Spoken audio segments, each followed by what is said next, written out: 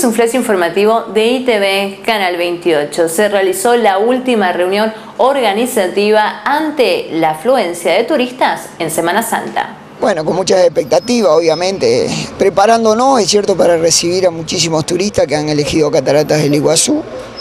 Bueno, como años anteriores, es cierto, ya sabemos que, que hay un día pico, que es el viernes, para eso hemos habilitado el parque eh, digamos, en una, en una organización que, emana de la Intendencia de Parques Nacionales, eh, habilitar el parque media hora antes, porque no nos olvidemos que esta Semana Santa cae ya muy adentro del otoño y entonces los días se están acortando y prácticamente a las seis y media de la tarde ya está oscuro y eso no permite que, los turistas puedan seguir recorriendo el parque. ¿Cuánta gente espera para esta Semana Santa?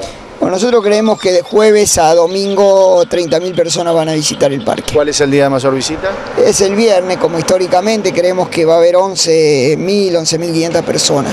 Más información en nuestro noticiero y TV Noticias de lunes a viernes de 21 a 22 horas.